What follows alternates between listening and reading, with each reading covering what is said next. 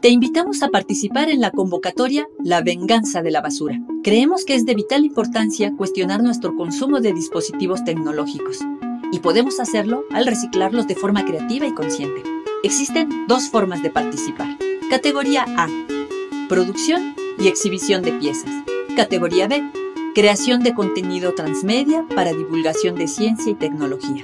Para ambas categorías se asignarán montos y tiempos para su producción, montaje y exhibición. Consulta las bases en la dirección que aparece en pantalla. Y si tienes alguna duda, escríbenos a colmena.cultura.gov.mx. Tienes hasta el 15 de junio para enviar tu propuesta.